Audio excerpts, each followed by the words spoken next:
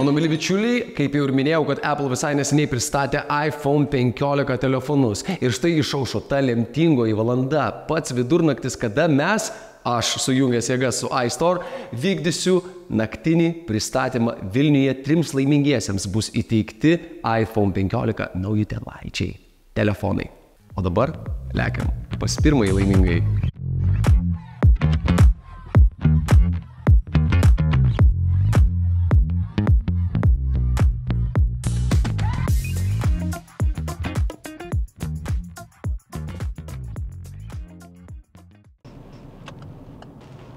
Tai nežinau, Vaidai, gal kažką pasiklausom per radiją, kas gero groja.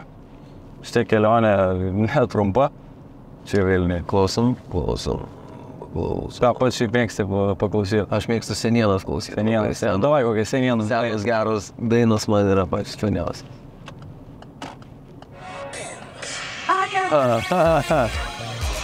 Girdėta iš tave? Girdėta, girdėta šitą tavą, ne? Ne vieną kartą.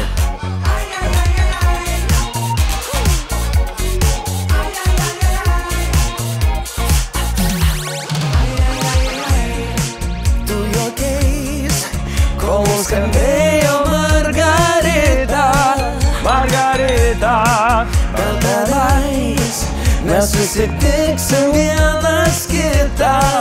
Aš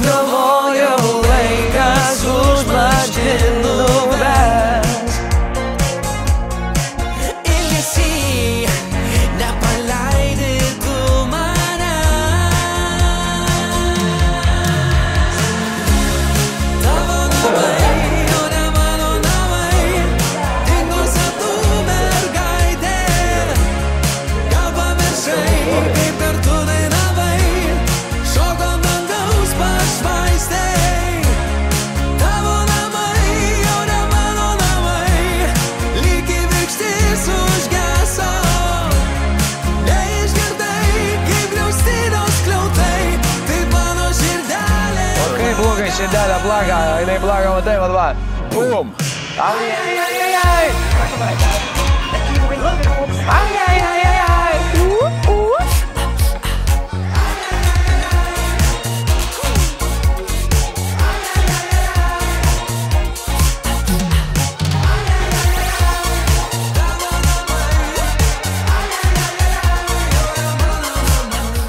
Mes visiškai saugiai pristatėme naujosius iPhone 15 telefonus naujiesiems jų šeimininkams. Naktinis pristatymas Vilniuje įvykdytas puikiai, be jokių trikdžių.